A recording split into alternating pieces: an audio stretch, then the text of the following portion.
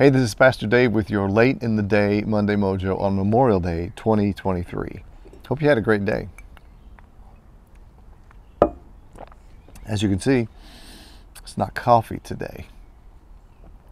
As many of you know, I'm a bourbon fan. And when I discovered that there was a bourbon called Buckner's, well, I had to go to that distillery and see something about it. So Laura and I made a trip to a little river town in northern Kentucky called Augusta on Saturday to go to the Augusta Distillery. Now, Augusta is well known because it's the place where Rosemary Clooney lived for a while. Or maybe you know her nephew, George Clooney, went to high school there. So it's known for that. It's also known as being the birthplace of Heather Renee French, who was Miss Kentucky in 2000 and Miss America. But it's also known for the Augusta Distillery. Augusta C is a town that was given to Kentucky as a land grant by Captain Philip Buckner. He was a Revolutionary War captain and he was awarded several land grants and he gave this one to Kentucky and it became Augusta.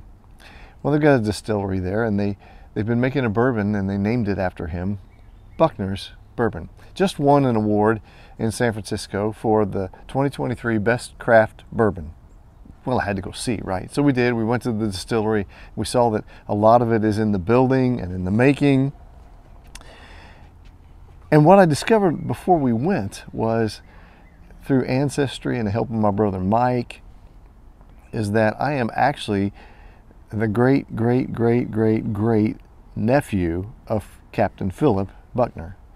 He was the brother to Jesse Buckner, who happens to be a part of my family line. Jesse happened to be a minister, a Baptist minister.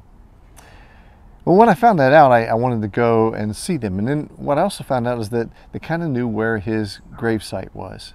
So after the distillery, we hopped in the car and we drove to Powersville, Kentucky, and we found his gravesite.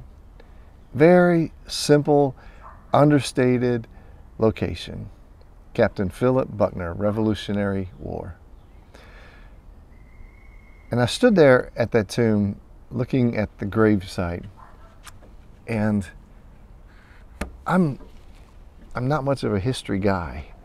And I really have never thought I wanted to find out too much about my ancestry. And you know, blame it on the bourbon if you'd like.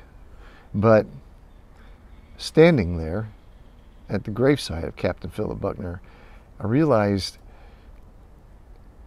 family is so important. Family is so powerful. You aren't here today if it weren't for family.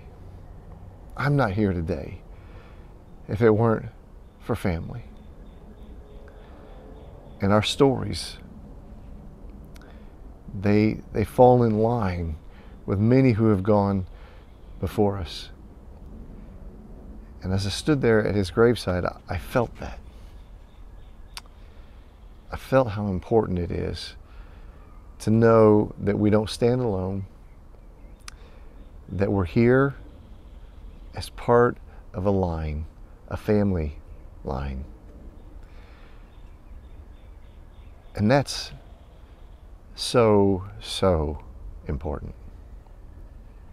I don't know how to say anything more about that other than on this day when families get together, treasure your time together. Value each other. And don't forget to say, I love you. Anyway, call me old fashioned,